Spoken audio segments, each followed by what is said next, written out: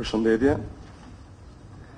Çelim seancën dëgjimore për subjektin e rivlerësimit, zotin Besnik Cani në funksion prokuror në prokurorinë pranë gjykatës së rrethit gjyqësor Elbasan, aktualisht këshilltar në prokurorinë e përgjithshme.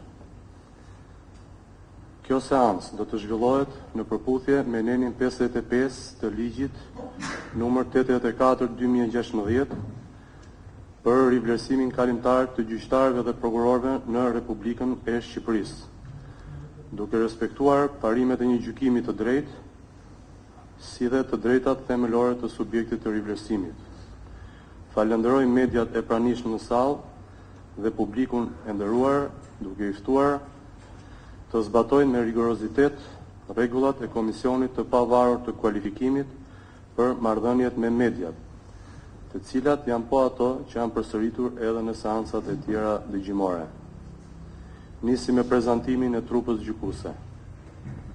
Kjo trupë gjykuese përbëhet nga unë Olsi Komici në cilësinë e kryesuesit të trupës, zoti Lulzim Hamitaj në cilësinë e relatorit të çështjes dhe zonja Brunilda Bekteshi në cilësinë e anëtares.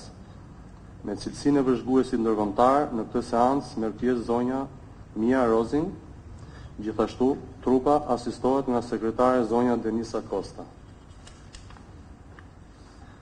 Vijojmë me verifikimin e subjektit të rivlerësimit, ju lutem zotëri prezantohuni, emër, mbiemër, funksioni dhe një dokument identifikimi. Faleminderit zotëri kryetar. Te sekretaria, lutem. Besnik Cani, prokuror pranë Prokurorisë së Rrethit Gjyqësor Elbasan, aktualisht i komanduar në kabinetin e prokurorit të përgjithshëm.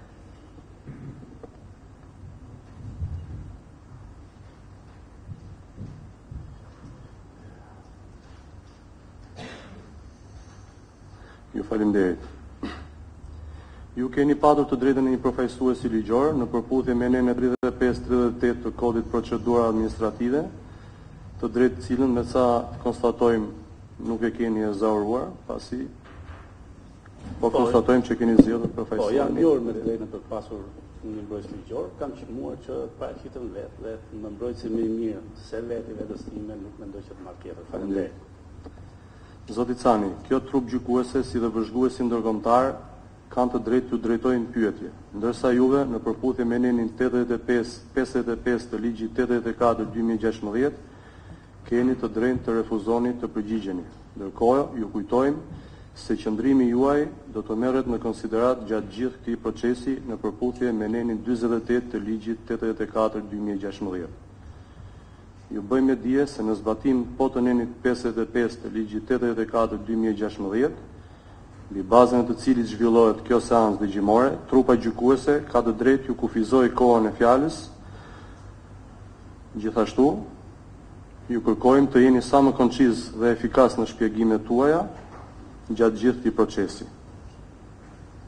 Po ju paraqesim në vijim një përmbledhje të procedurës së seancës dëgjimore.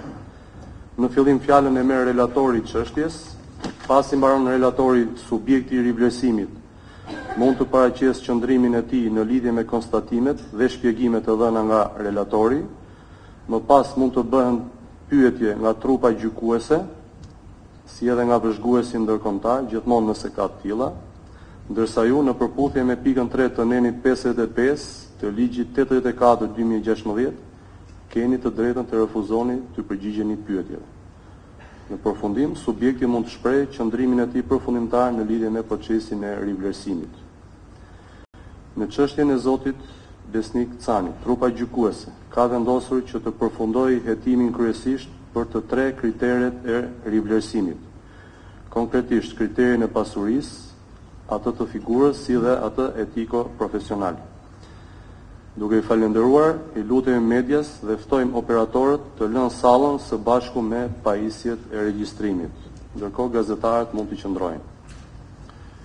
Ju rikujtoj se për asnjë moment nuk do të lejohen video regjistrime apo fotografi.